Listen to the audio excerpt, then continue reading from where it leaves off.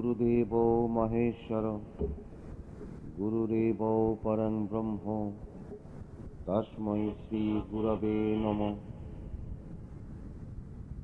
আমরা আজকে আবার এখানে সবাই মিলিত হয়েছি। ভগবানের দুটো কথা শুনব বলে। কারণ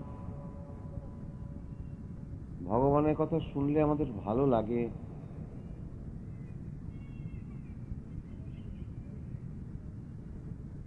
তাই আমরা এক জায়গায় জড়ো হয়েছি। কিন্তু প্রশ্ন হলো, ভগবানের কথা কি খালি শুনলেই হবে? না, আর কিছু করতে হবে? শোনা এক জিনিস আর করা আর এক জিনিস। আমরা তো অনেক কথাই শুনি, কিন্তু একান দিয়ে ঢোকে আর ওকান দিয়ে চলে যায়, মনে থাকে না। কারণ সে কথাগুলোকে আমরা ঠিক ভালোবাসতে পারি না। যদি কোনো জিনিস ভালোবেসে শ্রদ্ধার সঙ্গে শোনা যায় তাহলে সেটা মনে থাকে, সারা জীবন মনে থাকে। সেরকম ভগবানের কথা যখন আমরা শুনবার জন্য কোথাও যাই, তখন সেটা শ্রদ্ধা, ভক্তির সঙ্গে মন, প্রাণ দিয়ে সেটাকে শুনতে হয়। সেগুলোকে বুঝবার চেষ্টা করতে হয়, তাহলে সেটা মনে থাকে। এবার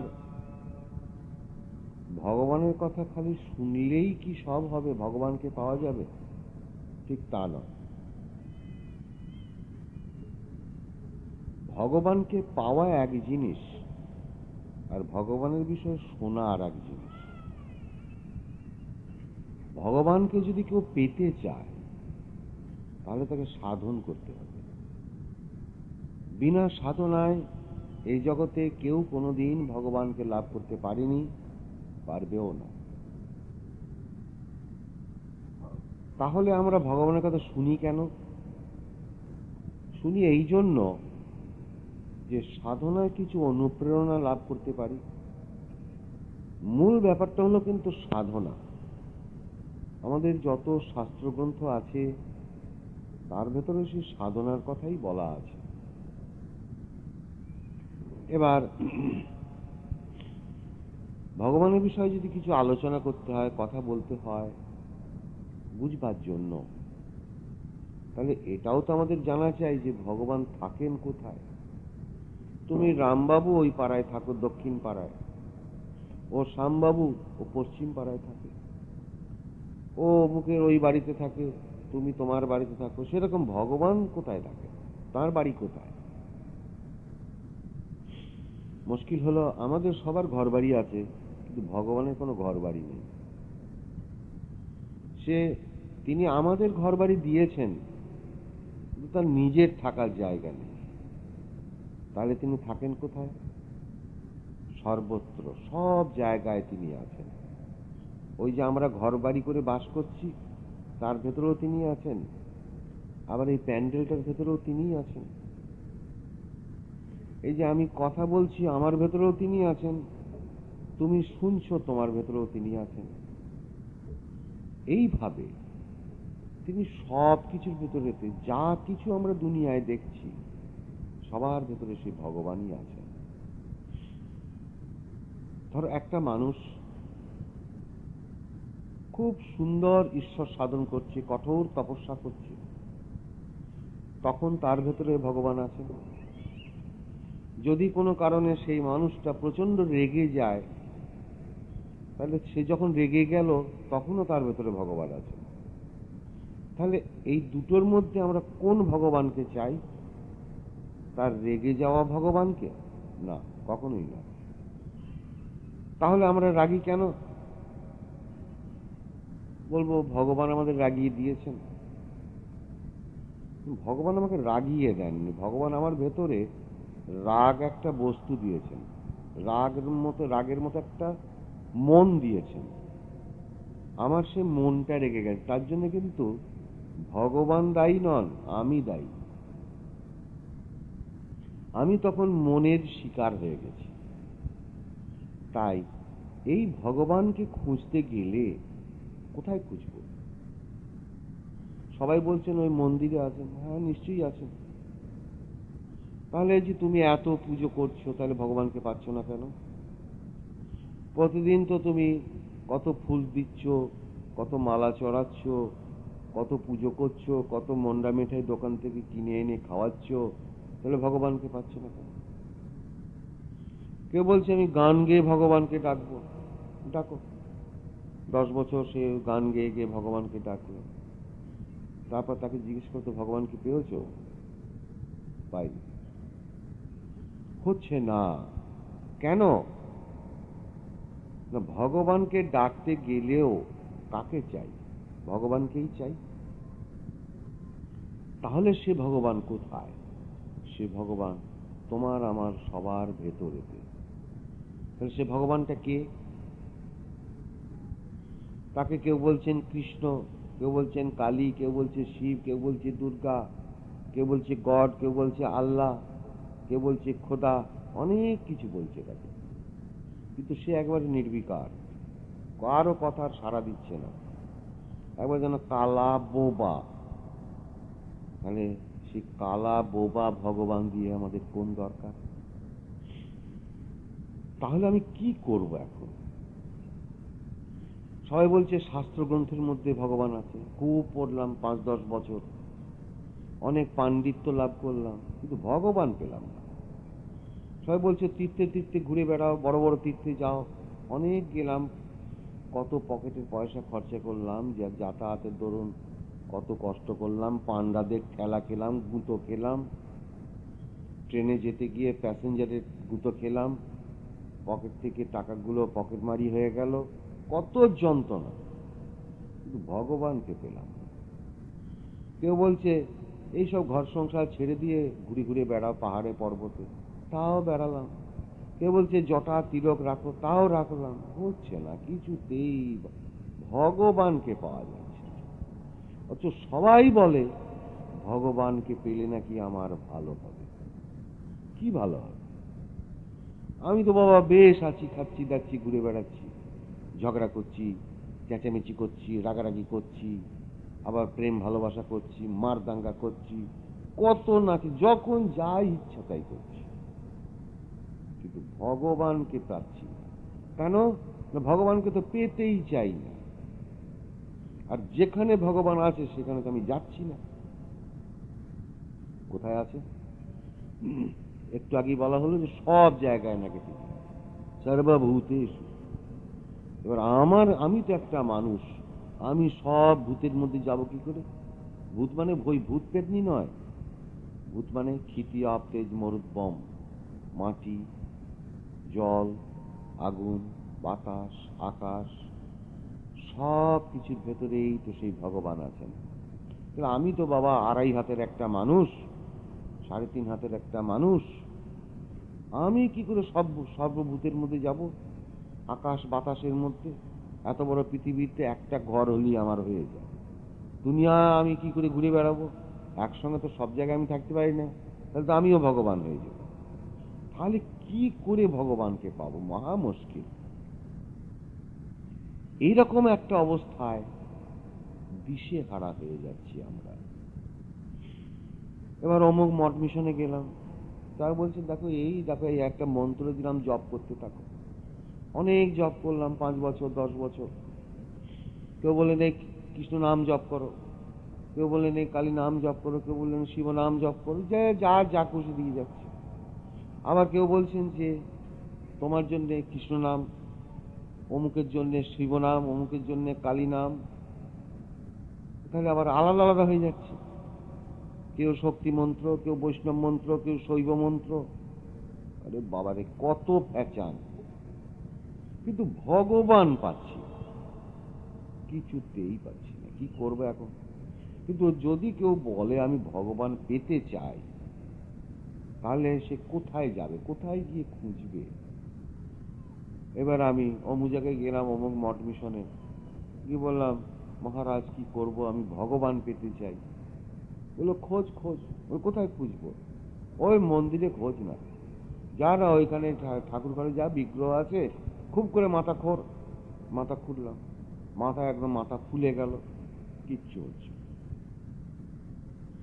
তাহলে কি করব এখন? এইভাবে কিন্তু অনেক জন্ম আমাদের পার হয়ে যাচ্ছে। আর প্রতি জন্মে আসছি, সুখ, দুঃখ, হাসি, কান্না, রোগ, শোক, জরা, ব্যাধি, সব নিয়ে ঘুরে বেড়াচ্ছি। কোনো জন্মে ধনী হয়ে আসছি, তো আবার পরের জন্মে গরিব হয়ে আসলাম। কারণ এই জন্মে যদি কোনো জন্মে ধনী হই, তো তখন ধনের ঐশ্বর্যে, অহমিকায় আমি মানুষকে মানুষ মনে করলাম না। গরিবকে কুকুর ছাগল মনে করলাম এইরকম ভাবে আমার যা খুশি তাই করে বেড়াচ্ছি। এই যে আমার কর্মফল, আবার পরের জন্মে আমাকে গরিব করে দিল। এবার গরিব করে দিয়ে তখনও ভাবছি বাবা সাম যদি একটু বড় লোক হতে পারতাম, এই চিন্তা করতে করতে হে ভগবান হে ভগবান, আমাকে বড় লোক করে দাও বড় লোক করে দাও। পরের জন্মে তিনি আমাকে বড় লোক করে দিলেন। আবার বড় লোক হয়ে গিয়ে আবার ওই অকর্ম কুকর্ম করতে লাগলাম। বোতল নিয়ে নাচানাচি করলাম, অপরের অনিষ্ট করলাম, কারণ ধনে ধনে মদে মত্ত হয়ে যা খুশি তাই করতে লাগলাম। তখন ওই কর্মফলের দরুন আবার পরের জন্মে গরিব হয়ে গেলাম। এই ধনী, গরিব ধনী, গরিব, এই চলছে খালি। কিন্তু ভগবানকে পাচ্ছি। বড় জোর ধনী হতে পারলাম, না হলে গরিব হতে পারলাম বড় জোর সুস্বাস্থ্যের অধিকারী হলাম, তাহলে রোগগ্রস্ত দেহ পেলাম। পাচ্ছি কিন্তু ঠিক কি পাচ্ছি? খালি পার্থিব বস্তু। আর মনের সুখ মেটাতেই ব্যস্ত। এটা চাই, সেটা চাই ওইটা চাই, না হলে হবে না। এই ঝগড়া, ঝাঁটি, কামড়া, কামড়ি, এই করতে করতেই আবার একদিন ফাট করে মরে গেল তখন ওই পাড়ার লোকে বলবে, "এই শালা ছিল বড় বাজে লোক, বেটা, মরেছে, খুব ভালো হয়েছে। আর বড় জোর আমি যদি খুব ভালো লোক হই, তাহলে লোকে বলবে হ্যাঁ অমুক বাবু খুব ভালো লোক ছিলেন। আহারে, বেচারা মরে গেলেন গো। আমার জন্য শোক প্রকাশ করি দুদিন, তিন দিন, পাঁচ দিন, দু মাস পরে সবাই ভুলে গেলেন। এই তো আমার দুর্দশা। দুদিন বড় জোর মনে রাখছে, আর তাহলে মরার পরেও গালাগালি দিচ্ছে। আমার কর্মফলের উপর কিন্তু আমার তো ভগবানকে পাওয়া হচ্ছে না। তাহলে আমি কি করব? তবে এটা ঠিক যেটুকু জ্ঞান আমাদের হয়েছে, সবার। তাতে আমরা এটা বুঝতে পেরেছি যে ভগবানকে না পাওয়া পর্যন্ত আমাদের ছুটি নাই, রেহাই নেই। ও আসা যাওয়া চলতেই থাকবে। আর ঝগড়া কামড়াকামড়ি, মারামারি, হিংসা, দাপাদাপি, এ চলবেই। তাহলে সাধনা। সাধনাও বড় মুশকিল। এবার মনে করো তুমি সাধনা নিলে, এবার তুমি বিবাহ করেছ, তোমার স্বামী, স্ত্রী দুজনকে নিয়ে একটা মিলিত জীবন। একজনা দীক্ষা নিলে আর একজনা নিলে না। তারপরে স্বামী, স্ত্রীর মধ্যে আবার মন, মন- মন- মানে মনের মিল থাকা চাই। স্বামী উত্তর দিকে চলে, তো স্ত্রী দক্ষিণ দিকে চলে। এবার এর মধ্যে একজনা বলল, আমি ভগবানকে পেতেই চাই, আমি দীক্ষা নেব। ভালো কথা। রাগারাগি করে তো সে দীক্ষা নিল। এবার যাও বা একটু আধটু প্রেম ভালোবাসা ছিল, সেটাও উড়ে গিয়ে মার কামড়া কামড়িয়া করে স্বামী যদি বউ দীক্ষা নেয়, তো স্বামী বলল যে, একদম ঘরে থাকা চলবে না, বেরো। আর যদি স্বামী দীক্ষা নিল, তো বউ এবারে ঝেঁটা নিয়ে তাড়ালো বাবা, এ কি ঘরের মধ্যে অবস্থা তখন? কি? না, একজন নাকি ভগবান সাধন করতে চায়। কোথায় যাব আমরা? ভগবানের সাধন পাওয়া তো দূরের কথা। সাধন যদি করতে শুরু করি, তাতেও এত অসুবিধা। এবার, যদি আবার স্বামী স্ত্রীর মধ্যে মিল থাকে, তাহলে আবার হলো যে একজন হয়তো একটু ভালো আনন্দ পেয়ে গেছে, একটু বেশি সাধনা করছে। অমনি স্বামী স্ত্রীর মধ্যে আরেকজন বললে, কি করে ঘরের মধ্যে বসে বসে? গিয়ে বাইরে গিয়ে কাজগুলো তো বিশটা টাকা রোজগার করে আনতে পারতো। ওই দেখো ছেলেটাকে বসে একটু পড়াতে পারতো। ওই দেখো সংসারে একটু কাজকর্ম করতে পারতো। এবার বাড়ির গিন্নি যদি সাধনা করে, তো কর্তা বলছে তারি দুটো সময়কালীন ভাতও পাই না। এ নানান অশান্তি। কোথায় তাহলে যাব? এবার এই যে ছেড়ে ছুড়ে দিয়ে পালিয়ে যাব, তাতে কোনো লাভ নেই।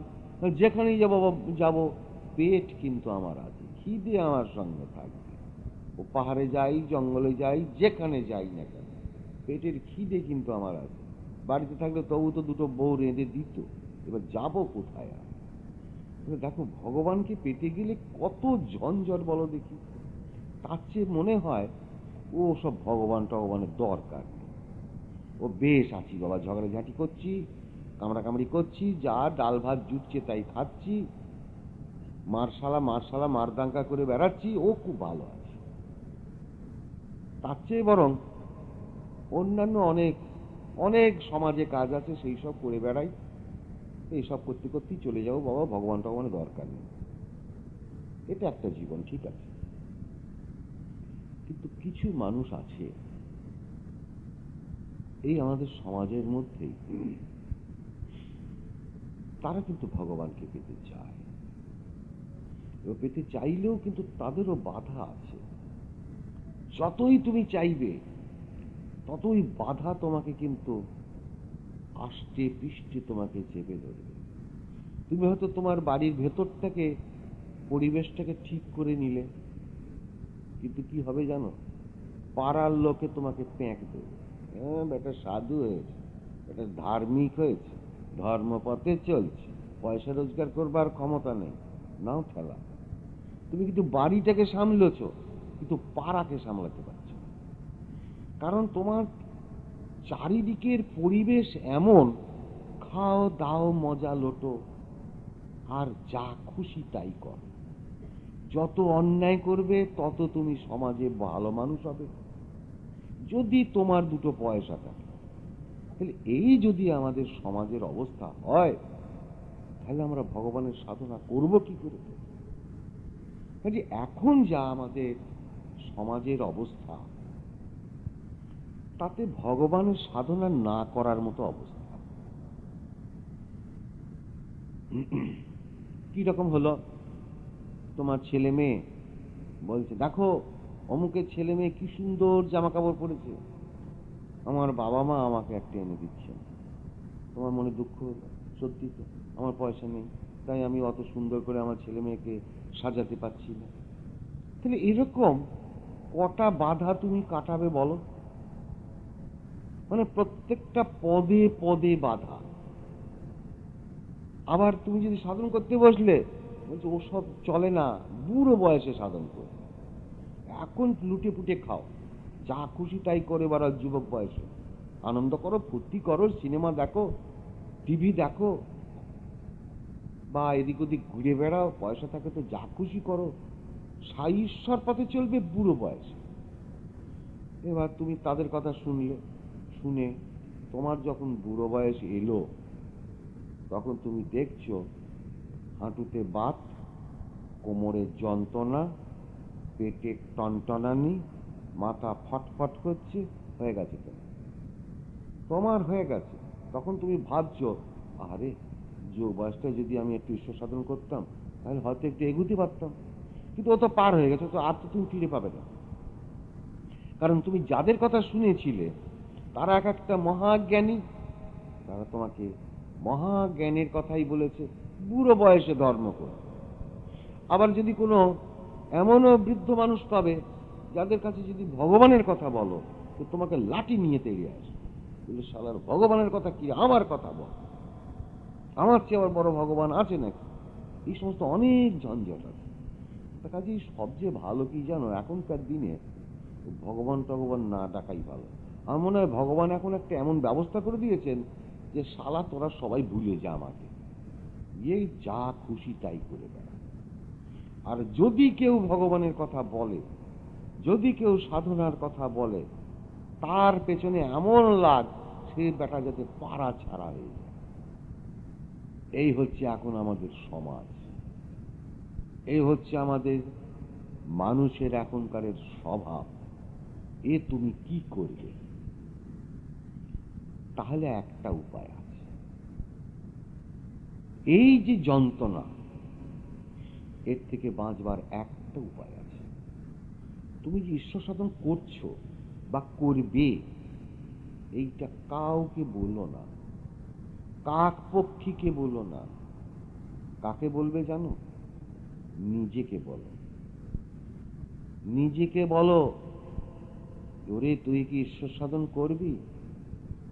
তোমার ভেতর থেকে যদি সায় দেয় হ্যাঁ কর, তাহলে তুমি করো। আর যদি কারও অপরের মত নিতে চাও, অপর মানে যে আপন নয়, তাই তো, সে তো অপর। তো সে তো সবসময়ই অপর। তাকে তুমি আপন করবে কি করে? যে আপন নয়, সেই তো অপর। তোমার কাছে, তুমি ছাড়া সবাই অপর। তাই কারও কাছে জিজ্ঞাসা করার দরকার নেই।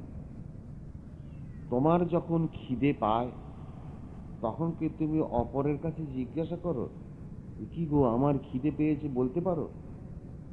কি গো, আমার ঘুম পেয়েছে কিনা তুমি জানো? কি গো, আমার পিপাসা পেয়েছে কিনা তুমি জানো? কি গো, আমার অসুখ করেছে কিনা তুমি জানো? বলতে হবে না। অসুখ যখন করে, তখন রোগের যন্ত্রণা তোমাকে বলে দেয়।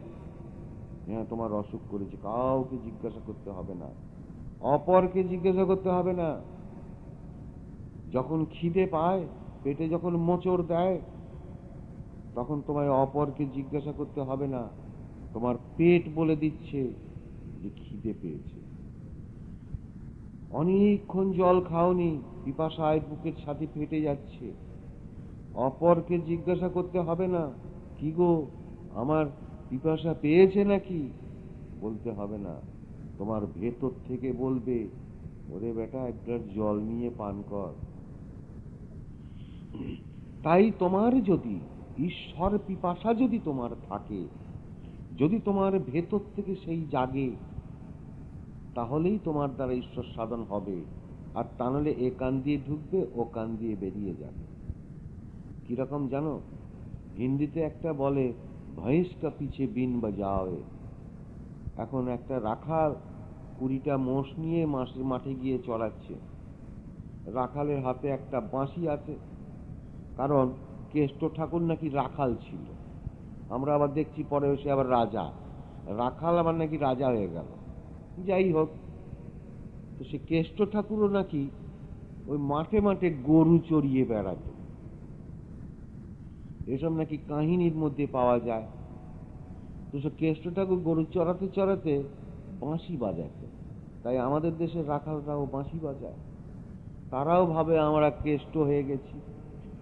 তারাও দেখবে, পাড়াগায় আমি অনেক দেখেছি যে মাথায় ওই এটা ওটা দিয়ে আবার একটা মুকুট তৈরি করে। ওই রাখালগুলো। আবার হাতে একটা বাঁশি নিয়ে আর ওই মাঠে মাঠে গরু চড়িয়ে বেড়ায়। তোরের ব্যাপার তাকেও জানে না। সে জানাতে গেলে অনেকে বুঝবে অনেকে বুঝবে না। কারণ ওটা সাধনার বিষয়। আজকালকার তোর মানুষ সাধন বলতে কিছু চায় না। সাধনা যে কি জিনিস তা মানুষ ভুলে গেছে। কাজে তাদের জীবনে সুখ আসবে কি করে? তাই সেই রাখাল বাঁশি বাজাচ্ছে। আর ভাবছে আমার তো ধারে কাছে আর তো কোনো মানুষ নেই। তাহলে আমার বাঁশির আওয়াজটা কে শুনছে? তখন সে তাকিয়ে দেখল, ধুত, আমার তো মোষগুলো তো শুনছে। এবার মোষগুলো প্রায় তাকিয়ে দেখল শোন শোন, আমার যা কি সুন্দর, আমি সুর করে করে বাঁশি বাজাচ্ছি। মোষ, তোরা শোন রে, শোন। মোষের কলা কেঁদেছে। একটু পরে রাখাল আবার তাকিয়ে দেখল, ও মস মস মস মস করে যেমন ঘাস খাচ্ছিল মোষ, তেমনি খেয়েই চলেছে। আর রাখাল রাজা বাঁশি বাজিয়েই চলেছে কেউ কারোরটা শুনছে না। মোষের যে খাওয়ার যে শব্দ, সেটাও রাখাল শুনছে না। আবার রাখালের বাঁশির শব্দ মোষগুলো শুনছে না। কেউ কারও নয়, সবাই সবার কাছে অপর। কাজে কারও কথায় দরকার নেই। চুপ করে রাত্রির বেলায় বসে সেই বসে বসে সাধন করো। তোমার যদি সারাদিন খাটনি থাকে, খাটো না রাত্রিবেলা না হয় দু ঘণ্টা কম ঘুমোবে। তাতেও যদি তোমার অসুবিধে হয়, রাত্রি চারটের সময় উঠে বসে একটু সাধন করো না। দেখো না ভগবানকে পাও কিনা। কিন্তু কোথায় থাকেন তিনি, কেউ জানে না। এইভাবে খুঁজতে খুঁজতে একদিন এক জ্ঞানীর কাছে গিয়ে উপস্থিত হলাম। তিনি বলছেন, ওরে বেটা, তুই কোথায় খুঁজছিস রে? ওই দেখ না, ভগবান তো গীতার মধ্যে বলেই দিয়েছেন হৃত্তেশ অর্জুন তিষ্ঠতি তোমারই হৃদয় দেশের মধ্যে বসে আছি।